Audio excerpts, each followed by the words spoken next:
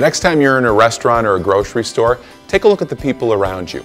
Nearly everybody you see is already or will ultimately be responsible for their own personal financial decisions. Things like paying bills on time, choosing how much house you can afford, saving for retirement, determining the right amount of life insurance, considering a regular IRA versus a Roth IRA, paying for college, the list goes on and on. Unfortunately, none of us are born with these skills. They have to be learned.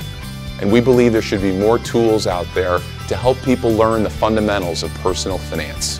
The costs of not knowing are staggering.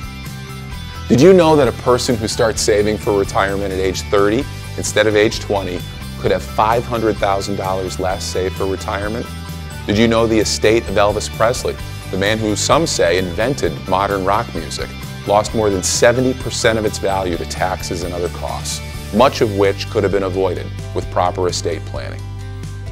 Many of you probably know professional athletes earn multi-million dollar contracts and have teams of professional advisors. But did you know professional athletes get in financial trouble, including bankruptcy, at a much higher rate than the rest of us?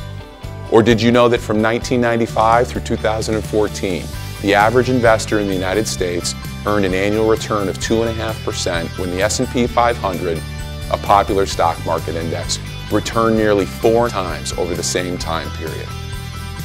These are real-life examples of decisions and consequences we believe could have been avoided. And the really sad part is you don't need to be a financial genius to avoid these kinds of mistakes. It takes a little knowledge and a little discipline to help money work for you and create a life of financial freedom. That is really what the Million Dollar Cup of Coffee is all about.